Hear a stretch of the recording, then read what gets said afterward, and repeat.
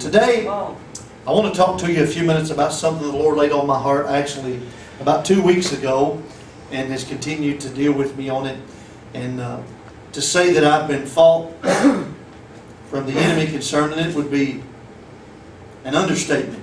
But that's all right. We're going to go ahead and preach it anyway. Amen? Amen. Hallelujah. And I don't expect it to be agreed upon by everyone out there under the sound of my voice that's watching my video.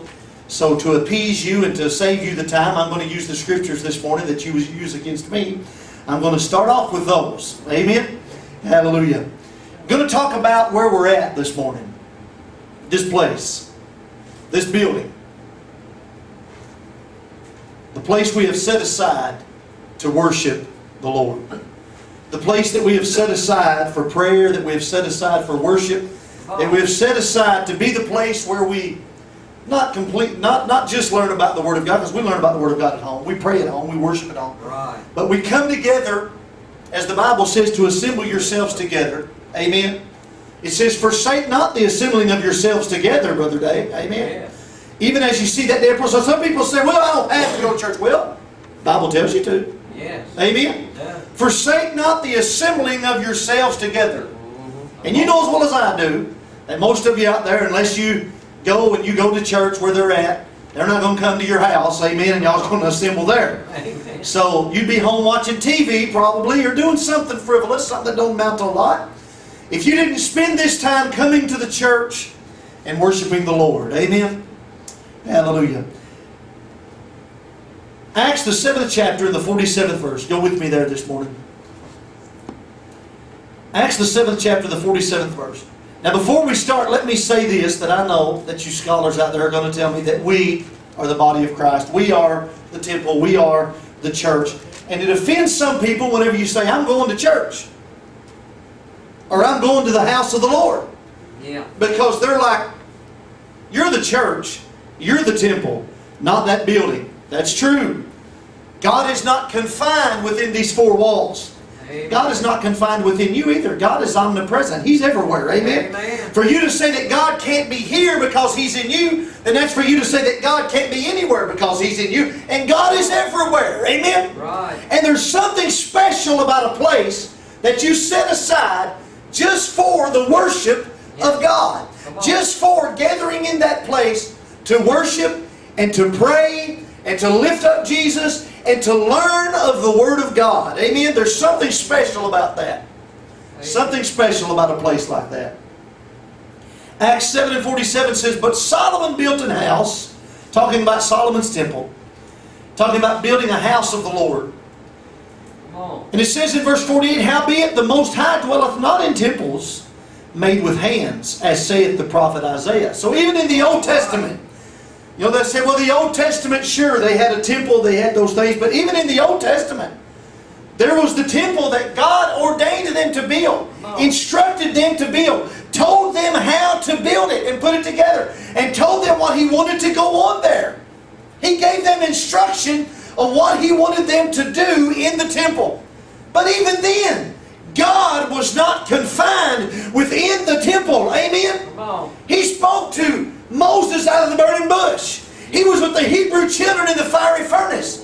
He was. He appeared many times to many people. He spoke to uh, to uh, the prophet Elijah when he ran from Jezebel, was hiding in the cave. He was up there in the cave. Amen. He was not confined to the tabernacle in the temple. Was it ordained of God? Certainly. Were there things that took place there that were ordained of God? Certainly. I believe today that the local church is ordained of God. I believe that there are certain things that should take place within the confines of the local church. And I believe there are certain things that should not take place within the confines of the local church. I believe there are certain, see, the church today, instead of being the beacon in the night that she once was, to the lost soul, the alcoholic, hooked on, hooked on alcohol, that, that, that can't even see straight, that would, that would stagger in to a, to a storefront church or to a little country church and would be able to make his way down to an old-fashioned altar because the church was there as a soul-saving station, a, a light in the darkness, amen, a lighthouse in the midst of the storm. But today, Amen. when they come in, they find a glorified coffee house. Right. Amen? True. In the, the, church has become conformed so much so to the image of the world that there are people leaving church services who say, I really enjoyed it. It was just like a rock concert. Come on. Amen. Come on, preach. A lot of things going on in the house of the Lord, and I'm going to use that term today, so if it offends you, you might want to turn me off. Amen. A lot of things going on in the house of the Lord today that should not be allowed to go on in the house of the Lord. Amen. I read an article yesterday about some churches that were that were drinking their coffee and things in the pews while they were having their service, and one lady, her comment was that her church had just recently put cup holders on the back of the pew so that you can put your cup of coffee in it during service. One lady said, Our church is so up, up to date and modern, we have a espresso machine in the corner of the sanctuary where you can fix you a cup of coffee during service. These are things you used to didn't have to address. Right. Amen. True. Even those that did not know the Lord, were not raised in church, had enough respect for the house of God Amen. not to come in Right. drinking their soda pop, drinking their coffee, amen, Right. chewing their bubble gum and blowing bubbles, amen. There is still something to be said today about respecting the house of God. Amen. There is still something to be said today about setting a place aside that you don't treat like a pool hall. Amen. But you treat as a place of worship. I know that He is not confined within these four walls, but that's not what we're talking about really. When you get down to it, we're talking about respect. Respect. We're talking about reverence. Amen. And we are living in a generation that you don't have to look too far. They have no respect for mama and daddy. They have no respect for the law. They have no respect for, for, for the government. They have no respect for God. Amen. They have lost their respect for anybody and anything. Nothing is sacred anymore. Right. Come on, preach. So I realize today that God is not boxed in by these four walls. Amen. We don't have to say, oh, I gotta get, I gotta pray. I can't pray unless I go down there where God's at. 216 Hill Street, that's where God lives. No, that's not what I'm saying. But I'm telling you, it's not, it's not time to throw out the local church. Amen? Amen. It's not time to throw aside the house of God and say anything and everything goes and we can just do as we please because He's a merciful God. Amen? Come on. I got news for you. You go ahead and treat your church like a pool hall and see what happens. If you don't believe that, it, that you have to have respect and reverence for the Spirit of God, you will spend very little time there. Amen. You will spend very little time in His presence That's the truth. because His presence, Brother Sleece, demands respect. Right. Oh, you ain't hearing me this morning. I said His presence this morning, His presence demands respect Absolutely. and reverence. Absolutely. So we know here that even Isaiah said that he's not confined within four walls. Heaven is my throne. This is this is the Lord speaking through the prophet. Heaven is my throne, and earth is my footstool. What house will you build me? See, in the Old Testament times, and I guess they still do it, they would build temples and they would set their God in it. Yeah. You know, Dagon and his temple. Right. And other gods as well. And that was his temple, and everybody say, Where's old Dagon? Well, he down at his house. We don't serve that kind of God. He's everywhere. Amen. Amen. But if you don't think it's important to respect the house of God, if you don't think it's important to reverence the Spirit of God, the Spirit of God is like a dove. All right. It will, it will descend True. gently, Amen. and it'll leave just as quick as it came if you don't show it respect and Yes, reverence. sir. Amen. Exactly. I've been in this thing long enough to have seen it. I have seen the Spirit of God come down in such a way where you could almost see it was like a mist in the congregation. And I've seen people do things that caused it to leave like that. Amen. Amen. I have saw people, tears rolling down their face, the Holy Spirit dealing with their heart, and God moving on hearts and lives as somebody was singing, Oh, how I love Jesus. Or one of the other, Amazing Grace, How sweet. And the Spirit of God just dealing with someone's heart and they're just about to, they're just about for, to get to their breakthrough or go down to an old I still believe in old fashioned altars. Amen. Amen. Only thing we got on our altars is this prayer box and some Kleenexes. Amen. And if that, and if those things, if we need more room, we'll move them out of the way while we use it. Amen. This altar's always open and will never be clogged down with a bunch of flowers and angels and things to where people can't pray at it. Amen. Brother Billy, nobody will ever come to it. Well, if they don't, it won't junk. Amen. It's here. It's open. It's there for you to pray at. Come on, preach. But I've seen people, the Spirit of God dealing with them. And then somebody get up. And they'll either change the tempo of the music. Yeah. I'll fly away, oh glory. I- It's gone. Or somebody, or an old saint will stand up and start talking Yeah. and not shut up for 30 minutes. All right. And it's gone. Amen. There is a time and a place. Amen. Right. While the Spirit of the Lord is drawing someone to an old fashioned altar, Right. it's not time for us to change things, change the order of things. Right. Amen. Have to be, you have to be able to discern which way the Spirit is moving and be sensitive, as Sister Cindy said, to the way that He is going. Amen. Right. I love working with people that know the moving of the Holy Spirit. Amen. Right. That don't, people are praying and they're crying and they just stop singing, leave the platform, and go do whatever. No, you just keep singing. You just keep flowing with the music. You, I mean, with the Spirit. You just keep flowing and singing and lifting up praises to the Lord till the Spirit of the Lord moves on. You ain't supposed to move till the cloud moves. You ain't supposed to move till the fire moves. Amen.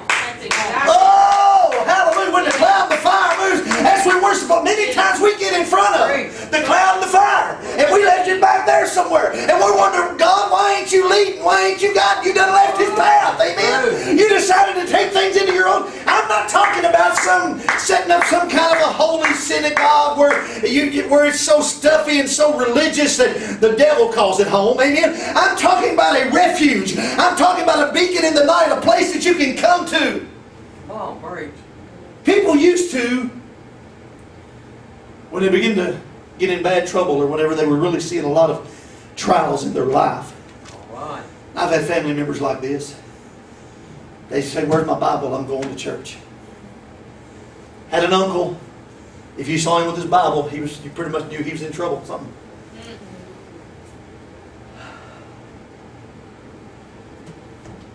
But people knew they could go to the house of God and there would be people there to pray with them, Right.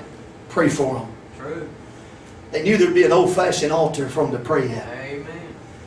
Now, oh my goodness. Now we have preachers telling us that we have to do away with all these old things. Yeah. If we want to win the world, we've got to be like the world. That ain't what the Bible hmm. says. That ain't what the Bible says. Amen. Come on. So we know that God's not He's not He's not re- re- restrained within these four walls. True. He's not restrained within you either. Amen. Amen. He's everywhere. Yes. There's something special about it. The Bible says in 1 Corinthians 3 and 16, Know ye not that you're the temple of God, that the Spirit of God dwelleth in you. We know that. We're not saying that this is the place where He dwells and that there's no other place you can find Him. But I'm telling you from Right. experience. I come down here and pray every day. And there are times when I walk into this place and I feel the Spirit. I didn't feel it before I walked in. Amen. I'm telling you.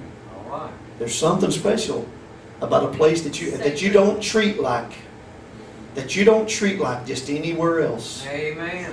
That you don't treat like it's a pool hall or a bingo parlor. Right. That you don't treat like it's a coffee house, Come on. but it's the house of God, Yes. the house of the Lord.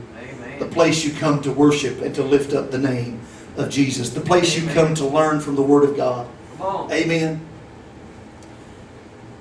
So, more than anything, this morning's sermon, maybe it's about respecting and reverencing the Almighty God that we serve. Amen.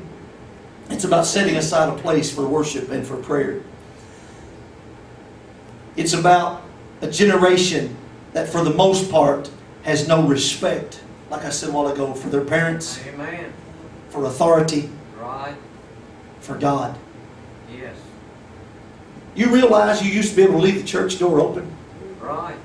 Because people had too much fear of God in them to go into a church and steal anything. True. Oh, I could preach this morning. Amen. Go ahead. Now, it's nothing for you to hear that. Did you know that the church down the street was broke into? Yeah. And they took their music instruments Right. and they went and pawned them? Right. Amen? You just didn't have that. Because they might rob the IGA. They might rob the filling station. Yeah. I ain't going in God's house. Amen. That's part, partly that's the church's fault. All right. Because we have so modernized the church that they don't consider it any more of a holy place than they do the garage down on the street corner. Amen? Amen. Because we've got preachers showing up in their flip-flops and their shorts and their muscle shirt to preach their sermons. Amen? Right. Because we've got preachers saying, here, pass out the coffee. Yeah. Because we've got some churches saying, here, pass out the booze. Yes. Oh! Coffee's the coffee's a, a light thing considered to what some of the stuff that's going on in the church today. Amen? Oh. Amen. And it's not just, you know, we talk about the world has no respect for God and they don't have any fear. Neither does the church anymore. Right. The, the majority of the church world, as we call it today, have no respect or no reverence or fear for the, for the Lord. Amen? From the, and it's not just the young people, not just the teens, not just the children. It's from the pulpit on down. All right. We got thing, all kinds of mess going on in our pulpit. Yes, sir. I clicked on a video the other day and was watching. There was a preacher and he was at Brother John Hagee's church, and he was preaching about Boaz. I forget the name of the preacher. Might have been. I don't know what his name was. If I tell you, if I tell you his name, I'd probably call somebody else. I think it was Jentezen Franklin. Anybody ever heard of him? Amen. I wouldn't let that man preach in my pulpit. No matter how much money you offered me. Not after what I saw. Preacher, you old fashioned. That's all right. Leave me alone. I'll stay that way. I'm happy the way I am. Old fashioned. Amen. Amen. True. He began to talk about a woman needs to look for her a Boaz. Mm. Then he took the bow off of it and just left it as ass, and then he began to add other things to it that women have got a hold of. Lazy. Drunken. And he added as to all of those. Mm. And the congregation laughed. Y'all get the point, don't you? I don't have to say it because I don't want to say it. Amen. Amen. And the congregation laughed, and Brother Hagee laughed, and the preacher stood there and said, I'm not going to turn around and look at Brother Hagee. He invited me. It's his fault. He stuck with it. Oh, yeah. If I invited him I'd have took away the microphone and said, You're done, buddy. Amen. This is the pulpit, and you ain't going to put on that kind of show here. Oh, hey, Brother Billy, you're old fashioned. I know it. I know it. Uh-uh. Stay in old paths. Amen. But and the church just laughed and laughed. It was so funny. Mm. And it was so disrespectful. Yeah. Amen. Yeah. And it was so disrespectful. And I didn't see anybody getting up and walking out. Mm. There might have been. They had a huge crowd. Amen. Yeah. Anywhere something like that's going on, they got a huge crowd. Amen. But it's nothing in the church today for us to see people sitting around drinking them a pop, Right. drinking them some coffee, True. even a beer. Like we said a while ago, there's some churches that drinks their beer. Hmm. They eat their chips, Yeah. eat their candy, Don't pop their gum, eat their donuts, and more. In places that we're supposed to be gathered to worship the Lord. Amen. Right. True. To lift up the name of Jesus. Amen. There's something special about a place you set aside just for that. Yes, sir. Something you won't get nowhere else. Absolutely. Amen. True. Oh, I might as well go ahead and let it all hang out, Brother Go Tyler. ahead. Let it rip. I said this a while ago, but I, I typed it out because my memory is getting so bad. I'm getting so old. If I don't type it out, I'll, I'll be studying and I'll think, oh, thank you, Lord, for that. And I'll, I have to type it out so I can read it to you. Yeah. Otherwise, I forget when I get here. If you don't think it's important to respect the Spirit of God and His presence, then you will spend very little time there.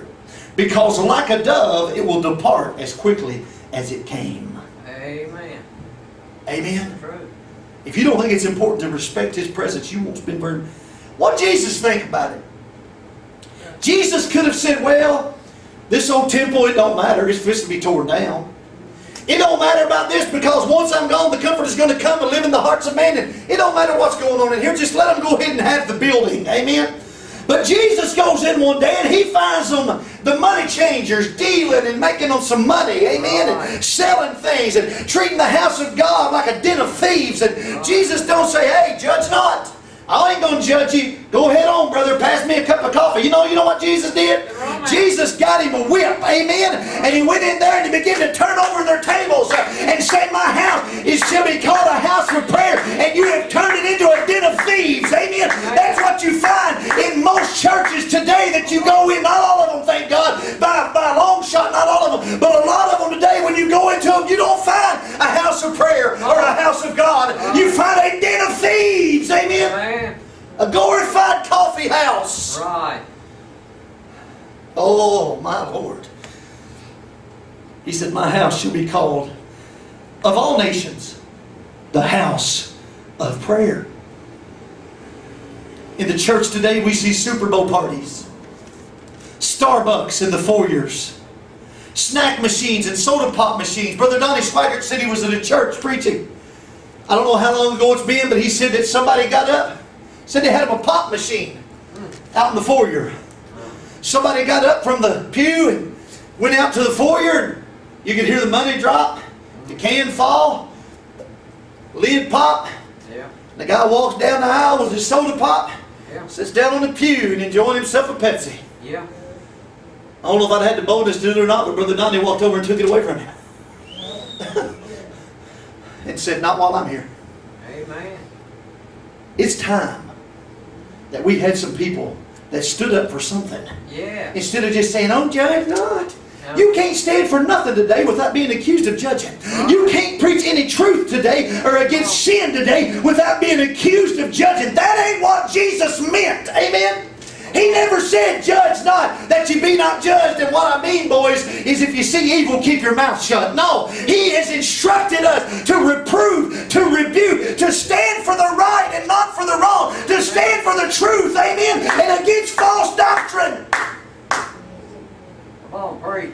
If you really think you shouldn't judge nobody for anything, well then if you live in one of these big cities and you look down the alley and you see two hooded guys there, one of them got a gun, the other one's got a billy club, go on down there. Don't judge him, boys. Yeah. Amen. Don't, don't be judging them. Go on down there. The Bible says you know them by the fruit they bear. Amen. Yes, sir. Hallelujah. I ain't talking about sitting back with some critical spirit. I'm talking about today, I'm talking about respecting the house of God. I'm talking about seeing snacks and soda pop and, and, and coffee and all these things. Cell phones. Can I talk about that for a few minutes this morning? Yeah. I ain't talking cell phones and iPads, brother, brother Tyler. And I'm not talking about people that use them for their Bible because that's the first feedback I'll get. They'll say, "I don't pack a Bible. I use my iPad or I use my cell phone." I'm not talking about that. Not that I believe that that's the best thing. Uh-huh. We're not to the place where we don't have these yet. Amen. Pick you one up and take it to church with you. And what is it more convenient for you to have it in your pocket than it is to pack one in your hand? And we've got some on the back of the pew. You don't even have to bring your own. Amen. Right. So I'm not saying it's the best thing. One of the reasons is because some kids will see you on your your iPhone or your iPad and they'll think they're playing the game. Yeah. And they'll think it's all right for them to do it. Amen. So it don't look good. Amen. It don't look good. Get you an old-fashioned Bible. Amen. And while you're doing it, make sure it's King James. It ain't welcome in most of the modern churches today, but it's welcome here. Amen. Make sure it's a King James and get you one of those. And then put your iPad on pause or, or put it on vibrate or your iPhone or whatever. I'm not talking about those that use it for their Bible. Although I think I've made it pretty clear what I think about that. Amen. I'm talking about those that sit there sending text messages. Yeah. I'm a church. Yeah. What are you up to? Just worshiping the Lord. Huh. I don't. How in the world? How can you worship the Lord and send text message to Facebook at the same time? All right. A pastor not long ago was sending pictures of the service, posting them up to Facebook right in the middle of their church service. I'm talking about reverence the Spirit of God. Amen. Amen. I'm talking about reverencing the Spirit of God. And I'm not saying there's anything wrong with using them as your Bible. And I know some people, some people leave them turned on just in case of an emergency or something. I'm not, I'm not uh, belittling you for that either. I'm talking about sitting around playing on them. Amen. Um, and this happens.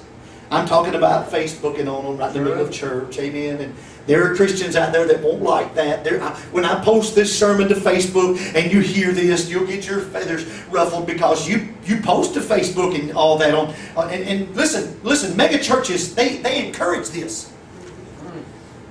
They encourage you to message during church. I've I've heard preachers say, "Yeah, we want you to share what you're learning. Just get on there and start sharing it." I'm thinking maybe they think if you're so distracted that you don't really know what's going on, you won't notice the mess they're preaching. Mm-hmm. Amen. The more distracted you are, maybe the more you won't realize what's actually being preached in your church. Amen. One preacher has his cell phone laying up on the thing there, and if you have a question during his sermon, you can text him the message. And he'll say, Hold on, I've got a message. Oh, so and so wants to know, you know what? This is a question I just got from the congregation. If you have some questions to ask me, please wait till after church. Amen. My cell phone's turned off. Oh, All I appreciate cell phones, but I don't like people. And as we had this problem here. I'm not talking. I'm not. We haven't had this problem here. If we ever do, you know how the pastor, what the pastor thinks about it. Amen. Before it oh, happens. Right. But uh, these things that I'm talking about, I don't see anybody in here this morning Facebooking. I don't see anybody in here this morning drinking their pop or their coffee or their booze. Amen. Wow. Or eating their chips. Amen. Or eating them a breakfast sandwich or a donut. Right. But we see this going on all across our nation in churches everywhere. Amen. All over across our nation. Super Bowl parties, we talked about that. Starbucks snacks, soda pop, cell phones, iPads. And not just in the pew, from the pulpit. Preachers. Amen. True. Using off color humor. Some preachers cussing. Right. Cussing. True. Cussing. Amen. Oh, I can preach on cussing. Amen. Amen. Oh. Open your Bible. You'll find one disciple that cussed. And when he did it, he was trying to prove to him he didn't know Jesus. Hmm.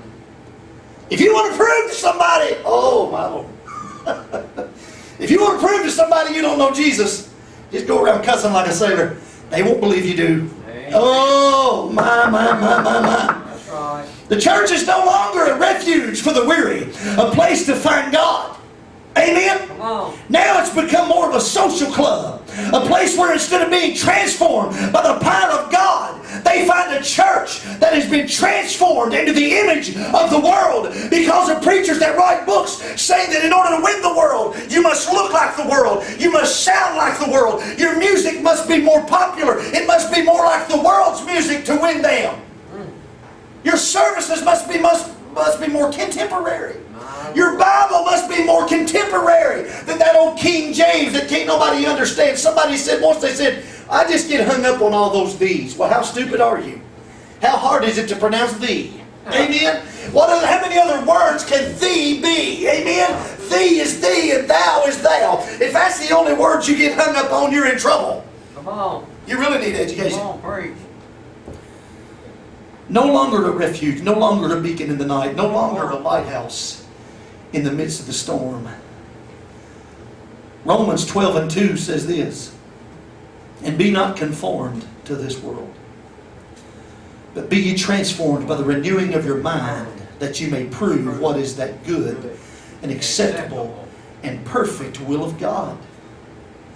That word conformed there means to fashion alike. Be not fashioned like this world. Amen. Amen. But wait a minute, Brother Billy. The best selling books from the most popular mega pastors tell us to do that. Yeah. They tell us to conform to the world. Yeah. If you look in these books that teach you about building a church, in other words, numbers, they tell you to go out in the neighborhood, in the town where you're at, and ask the people, what would you like to see at church? What would you like to have at a church that you went to? Then, Sister Cindy, you come back with all that feedback and you have a big board meeting. And you decide all the things that you're going to implement. So some people say, well, I, I like I like some of that Christian rock. Yeah. I like some of that rap. I like it rap. Yeah. I like some drama. Yeah. I, I'd like I'd like to be, you know, I'd like for it to be an atmosphere more like a concert. I don't want nothing too churchy. You know why? Because that makes them feel bad. Convicts them. It convicts them. Amen. Right. It convicts them. Power. You see, they want you to feel good. They want to make you feel comfortable. Come on. If you're not right with God, you shouldn't feel comfortable Right. in church. That's right. Amen. They want you to feel comfortable when you come in, feel comfortable while you're there. Leave feeling comfortable about yourself. Listen, I want you to feel love here. I want you to feel the Spirit of God here. If you're living in sin and on your way to hell, I do not want you to feel comfortable in this place. Amen. Amen. I want you to feel the need to repent. That's good. I want you to feel old. I still believe in old time Holy Ghost conviction. Amen. I want you to feel the convicting power of God that lets you know that no, you ain't okay. Amen. But they'll come into the church house and it feels comfortable and the atmosphere is different than it used to be. There's no crosses. You know why? Because the books tell you take down your crosses, it'll offend somebody. Yeah. Take down your religious symbols, it'll offend somebody. Yeah. Well, my friend, your compromise offends God. Amen. Oh, All right. You're offending God. Yeah. You're offending God. The only one that they're the only one they're not worried about offending is God. They don't offend nobody else. They don't care if they offend God. or. Amen. But they'll come into our churches, a place where they used to. If you came in bound by sin, drugs, alcohol, whatever it was, and you, you would feel the convicting power of the Holy Ghost and it would draw you. It would draw you. And it doesn't beat on you. Come on. Y'all felt conviction before. I hope you still feel conviction. Amen. Right. It's a little tug at your soul. It's gentle. And the Holy Ghost will deal with them. They don't feel that anymore because now they feel comfortable. And the preacher will get up there and say, You're okay. Yeah. You can be the best you can. Listen, whenever you get up and preach a message that you can have your best life now, you can be the best that you can be, and you leave out Jesus, that's dangerous. Amen. Because you can't have a good life without Him. Right. This life is meaningless. It means nothing to you if you don't accept Him. All it is is a wasted opportunity. Once you die, you will find out just what you missed out on if you do not accept Jesus in this life. But I've heard people leave these mega churches and they would say things like this Well, I don't believe in God, but I like His positive message. I like His positive attitude. I feel good there. You shouldn't. Amen. You shouldn't. Amen. You shouldn't feel good Amen. there. But the latest bestsellers tell us to conform to the world. The Bible says, be not conformed to this world. Amen. Be transformed. The music is more like a rock concert. And listen, Christian rock bears the same spirit as worldly rock does. It's a, it's a spirit of rebellion. True. Amen. Exactly. I realize that we all have different tastes in music. And that a lot of people quarrel over these things. Hmm. But surely I can get to you, you to agree at least with one thing. If you cannot tell the difference whether it's Christian or whether it's not, then it ain't. Come on. Amen? If you can't tell the difference, but Brother Billy, it's the lyrics. Yeah, you can't hear the lyrics. No. Amen? You can't hear the lyrics. So the lyrics is doing me no good. And besides, some of the rock people sing some of the same lyrics along the same lines. True. There's a different spirit behind it. Yes, sir. Amen. If you don't learn to discern that, Right. you're in trouble. We've made the church instead of a house of prayer and a house of worship and a refuge and a beacon in the night has become. Good time Charlie's. Entertain. Entertainment. Let's see if we can entertain them better. If we can entertain them better, we can get that crowd from down the street. Yeah. Amen. Because I already heard some people saying, well, they, it's kind of boring there. Uh-huh. it's not exciting enough. If we can get it exciting enough, we can get that crowd from down there. Yeah, you can. Until then, people down there get more exciting than you, and then they'll leave to that, sh- go to that show. Amen. True. The house of God in America today, in many cases, is no longer a house of prayer. It is a house of entertainment, Christian rock music, strobe lights, dramas, movies, book discussions, groups, sports, dancing, Christian comedians, and other things that offer a good time, but not the convicting power of the Holy Ghost. Amen. Instead of the church transforming the world, the world has transformed the church. Amen. And we have taken bad counsel by, back from bad leaders that say, get rid of this and get rid of that when we need to get rid of them. All right. Amen. Amen. Can I say that again? They'll write books, Brother Dave, that'll say, get rid of this and get rid of that. And we need to get rid of them. Amen. We need to tell them, listen, I love you. I'll pray for you. You need to be saved. You ain't going to be my pastor no more. Amen. Until you begin to line up with the book. If it ain't in the book, it ain't, it, it, it ain't worth your time. Amen. Amen. That's the truth. Go with me this morning. I'm fixing to close. I don't know how long I've been preaching. Genesis 28 and 10. Let her rip. Genesis 28 and 10. Somebody got after me a few weeks ago because I said, if you're in a hurry, you can go ahead and go. uh, you know I love you. Amen. Amen. I hope those of you out there that listening to this preacher over the radio or watching this video know that I need to spend the time in prayer that I spent this week wrestling with this and being fought with this because I thought this is going to make me popular. This is going to be a feather in my cap. No, it's because I have to preach what the Lord gives me to preach. Amen. Amen. He gives me what He gives me because He loves us. I give it to you because I love you. Amen. Amen. I want you, I don't want you to be deceived. I want you to know the truth. Many deceivers in the world. Many deceivers saying, put out the cross and anything else that makes the world uncomfortable. And listen, I said while ago, and I've said this before, but it's worth mentioning again. If people do feel conviction, the preacher will talk them out of it. Right. True. I know a couple that went and they met with the pastor of a church. And they went to his office and they said, These things are bothering me, this here and this here and this here. He said, That's just condemnation. That's just because the way you was raised. Amen. And listen, some things are personal conviction and some things are just flat out wrong. Right. Amen. It's true. And he said, No, that's just. So you know what they did? They took his advice. They took his advice. One of them completely lost today, Oh. and the other one, I don't know what they're messed up in. But Mm. another couple that I heard about, they were alcoholics, hooked on alcohol. Got into a little church, the Lord delivered them. They were running on for Jesus. They had to move, had to relocate because of the man's job. They joined another church and they really liked it. They really liked what was going on. Things was going good. They got invited to a Bible study or a fellowship night at somebody's house. And a bunch of the church people showed up. And they all sat around and started breaking out the booze. Drinking. Wine. Beer too. And these are people that have been delivered out of alcoholism. They thought, this ain't right. I bet the pastor don't know about this. And they went to the pastor. They said, Pastor, we don't want to stir up anything, but this is tearing us up. Said, we think you ought to know this. So they tell the pastor what's going on, and the pastor says, Now, I need to counsel you two. That's condemnation.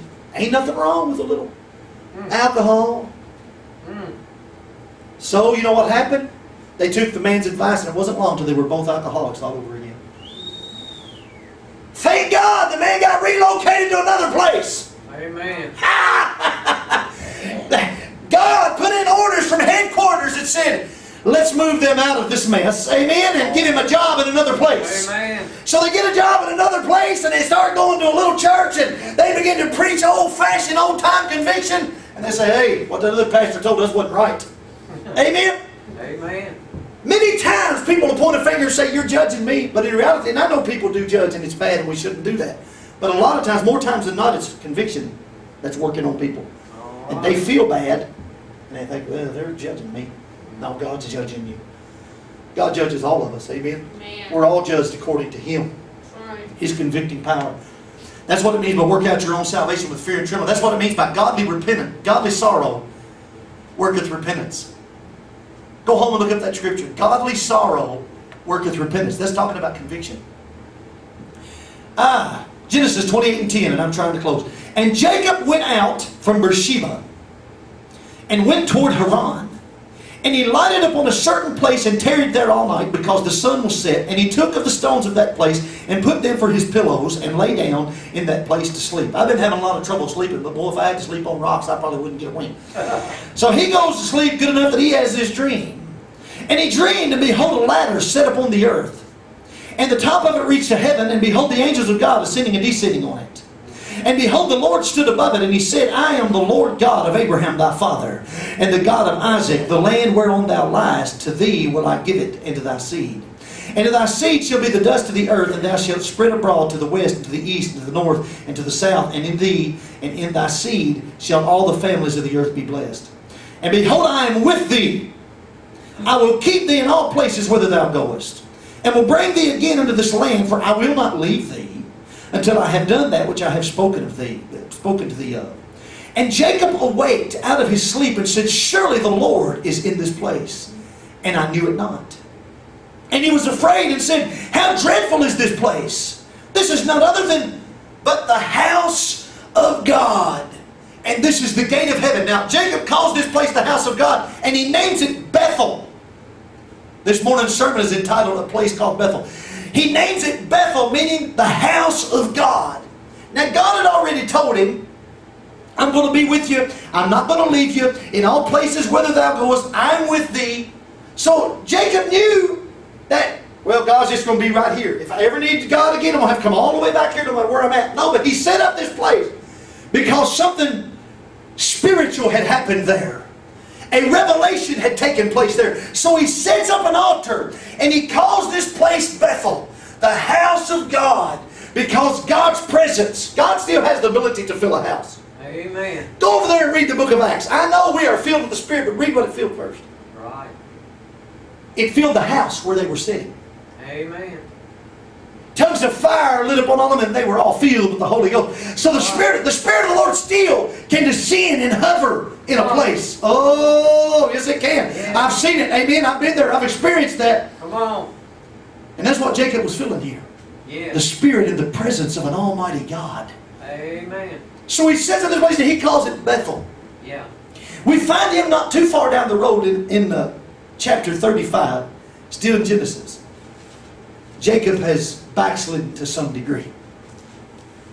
He's not where he needs to be with God. He's allowed things to go on that shouldn't be going on. So from chapter 28 to chapter 35, different things happen. You can read that. But in chapter 35, the first verse says, And Jacob, and God said unto Jacob, Arise, go up to Bethel, and dwell there, and make thee an altar unto the unto the unto God that appeared unto thee when thou fleddest from the face of Esau thy brother. And he tells the people, then Jacob said in verse 2 unto his household and to all that were with him, Put away the strange gods that are among you, and be clean and change your garments. And let us arise and go up to Bethel, and I will make there an altar unto God who answered me in the day of my distress and was with me in the way which I went. He said, Put away the strange gods. Amen. Take off your filthy garments and put on clean. Right. Where are we going, Jacob? We're going back to Bethel. Now, God was not confined to Bethel, but that was the place where Jacob had set aside as the place as being the house of God, a spiritual place, a place of what? A place of an altar, amen? The place of prayer, the place of his dream, his revelation, the place of his vow. If you go back and read that, he vowed to God to give a tenth of all that he ever has. He dedicated to God to give. You start going to a Bible preaching church, you'll feel the need to be dedicated in your giving. Because KU don't say, hey, y'all can have your lights for free. City of Livermore don't say, hey, you can have your water for free. The people of the carpet place didn't say, hey, we'll come lay that carpet for free. The people don't give us radio time for free. The, the, it's not free to send out the newsletter, the CDs, CDs and the cassettes and to run the internet radio station and do all that we do. You will feel a need to be dedicated to give it to the work of God. Amen. Not so the pastor's dog can have a air-conditioned doghouse, amen, but so that the preaching of the Word of God can go forth, amen, for the promotion of the truth. Amen. Preach it. The place of the vow that he made, Yeah. the place of the altar, the place of prayer, the place of revelation, the house of God. Yeah. He said, put away the strange gods, we're going back. Come on. The church needs to go back to Bethel. Wonder what kind of reaction the megachurch pastor would get if he went in tomorrow with his board members and said, "Now listen, we're going to get rid of these strobe lights. We're going to get rid of this smoke. We're going to put in an altar. We're going to clean out our bookstore and get rid of all them NIVs. We're going to start having prayer in the house of God. You're going to be able to tell the difference from now on between our music and REO Speedwagons. Praise the Lord. They'd say, Pastor, it's been good knowing you. Right. You're fired. That's right. That's Amen. it. Exactly. Amen. True. It's time somebody stood up Amen. and said, We done missed the mark. All right. There is still something to be said about a place that is set aside. There's still something to be said about an old fashioned altar. Yes, sir. There's still something to be said about a place that you can go to and know that there are people that'll pray for you, Right. that'll pray with you, True. that'll pray for the lost, that'll pray until they're till you're done praying. Right. You ever feel rushed before? You wanted to pray longer, Uh-huh. but the meatloaf was burning. Yeah. We had more activities to do. The drama team's got to come on. Yeah. The show must go on. The show must go on. Amen, Brother Sleece. No truer word spoken than that. The show must go on. You're in the way. Yeah. Mm-hmm, yeah. Amen. We need to go back to Bethel. Oh, Lord Jesus. Amen. Back to the place of the old fashioned altar. Back to having our prayer warriors. Back to having our old country preachers that didn't care to tell you what was white and what was black, what was what what, what was right and what was wrong. Amen. Right. Preaching the truth of the Word of God. So Jacob, he gets these people up and he says, We gotta go back. I've done missed the mark. We need some people that'll say that today. Amen. That'll be humble enough to say, We done messed up. We gotta go back. Right. Me and Reese's do in, in our in our travels, not a lot of them, but in our travels, there's many times we've had we've said well, we got we're going to turn around and go back. We missed our exit. Hmm. We're going to turn around and go back because we're on the wrong road. Yeah. Eighty percent of the church needs to say that today. Amen. We need to wake up and realize you done took a wrong turn. Yeah. Amen. Go back to. Get up. Put away the strange gods. Amen. Come on. Oh, put away the strange gods. And the church has a lot of strange gods. We can't get into that this morning or I won't never shut up. But see, when you come into His presence, His light reveals. It searches. It convicts. But man somehow has found a way to brush that off. But Jacob knew, I'm going back to the place that I called the house of God. We got to get rid of some of this stuff. At the age of 19 years old, when I I'd been out of church for a little while, I went back and my cousin, he was going for the girls.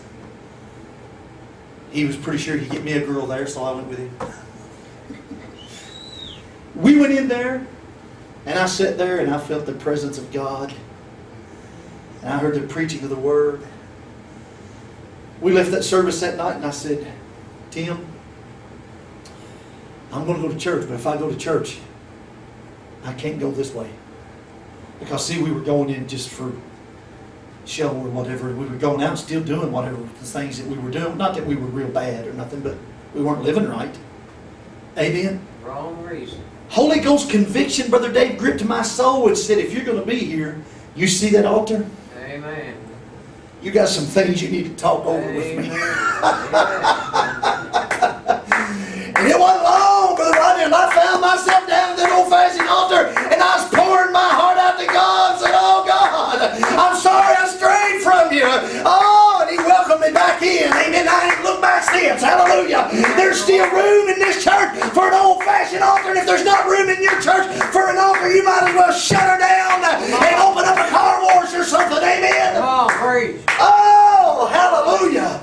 Go back to Bethel, the place of the altar, the place of the vow, the place of the revelation of God, Come on, preach. the place of the Word of God. True. Back to Bethel, Yes. back to Bethel, back to Bethel. Yes. Praise the Lord. Oh, church, listen to me. If sinners, and I don't use that word lightly, I'm talking about unsaved people. I know we're all sinners saved by grace. I'm talking about those that don't know Jesus as their Lord and Savior.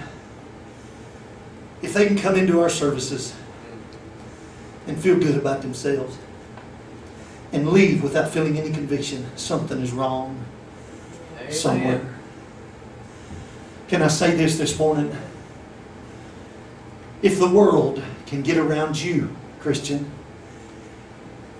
and tell their dirty jokes, and cuss every breath, drink and smoke, and not feel bad at all, you might want to check your light. It may have went out. Amen. Amen. True. It may have went out. Right. Sinners or people that are not living for the Lord, people that are living in sin, should not feel comfortable around you. Amen. When you walk into a room, if they're telling a dirty joke, they should stop. Right. Why? Respect and reverence for the God that lives inside of you. Right. That's what we're talking about this morning is respect and reverence for God and His Spirit. Amen. Amen. Respect and reverence. My, my, my. So they get up and they go back to Bethel. And the Bible says, let me find it. I got so many pages of notes, I tell you, we ain't going to get through. They gave unto Jacob their strange gods, which were in their hands, and all their earrings, which were in their ears. Jacob hid them under the rock, which was by Shechem. They journeyed, and the terror of the Lord, the terror of God was upon the cities that were round about them. They did not pursue after the sons of Jacob. The presence of God protected them. Amen. Amen. So Jacob came to Luz, which is the land of Canaan, that is Bethel. He and all the people that were with him. And he built there an altar. And he called the place, listen what he calls it. I'm in Genesis 35 and 7. He called the name of the place El Bethel. That means the God of the house of God. That's who we're really talking about today Praise the Lord. is respect for our God. Respect for His presence Yes. and His Spirit. Amen. When He spoke to Moses out of the burning bush, Mm. the Lord said, Take off your shoes, you're standing on holy ground. Right. Now that was the same old dirt that it was everywhere in the wilderness, but God's presence had lit there. Right. God's presence lights here. Presence lights here. Amen. Amen. That what you feel, that's the Spirit of God. Anointing. The anointing of the Lord comes down in this place. Yes. And if you don't think it bothers it any that you sit around blowing your bubbles or eating your chips or your jelly beans, Right. something ain't right. Amen. Drinking your coffee, texting somebody. Oh, let me see. Amen. This is holy ground. When John the Revelator was in the presence of the crucified one of the Isle of Patmos, the Bible says he fell down in front of him as dead. Yes. Why? Reverence and respect. Respect. I'm telling you, God's presence demands respect. Amen. Yes, sir. I do have a few more scriptures that I'll share with you another time. But God's presence, His Holy Spirit demands respect. And if it's not there, neither will His Spirit be. Amen. Amen. But I feel something. Yeah. They feel something at the Kiss concert. Are they still singing? They may be. They're probably about They're 85. Still there. Yeah. Still I saw a poster somewhere where Hank Williams Jr. supposed to be in Owensboro. I figured he's in a nursing home by now or something. But anyway, them old guys, they just keep going, don't they? Yeah. Probably on a walker or something. But they feel something there. Talk to some of them people that used to, well, they may be dead now. Yeah, that went to the Elvis concerts. They're probably 100 years old now. So get find somebody that went to one of the newer people, Garth Brooks or somebody, I guess. And I don't keep up with those new things, but talk to them. They felt something. Yeah. You'll feel something. Right. God's Holy Spirit is not the only Spirit. Right. You better learn to be able to tell the difference, or you're going to be in trouble. Amen. The devil has a counterfeit for everything that's real. Yes. Amen. True. So yeah, you'll feel something, Right. but it ain't the right something. Says try the spirit. Amen. Amen. Respect God. Amen. Return to Bethel, Come the house of God, the house of the Lord. Amen. The place of worship, a place that can be a beacon in the night and a lighthouse to the lost instead of a coffee shop for Yeah. the businessman. Amen. Amen. Hallelujah. Someone else this morning have something before we go. I went far longer than I expected to go.